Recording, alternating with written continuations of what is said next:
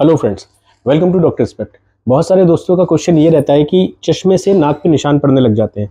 तो दोस्तों, मैं आज इसको एक्सप्लेन करता हूँ कि क्यों आपके चश्मे से आपकी नाक पे निशान पड़ते हैं और आप इससे कैसे बच सकते हैं। तो जैसे कि आप ये देख रहे हैं एक नया चश्मा है। इसके नोज़ पैड्स को आप देखेंगे, बिल्कुल ट्रांसपेरेंट है और क्लियरली व्हाइट दिखाई दे रहे हैं। और वहीं पर जब आप इस चश्मे को देख रहे हैं तो इसके नोज़ पैड्स को आप देखेंगे, ये आपको येलो दिख रहा है। तो देखिए दोस्तों, ये जो नोज़ पैड्स होते हैं, ये सिलिकॉन पीवीसी या पॉलीकार्बोनेट के बने हुए होते हैं। तो इनका जो लाइफ स्पैन होता है, वो मिनिमम सिक्स मंथ से लेकर मैक्सिमम वन ईयर तक होता है।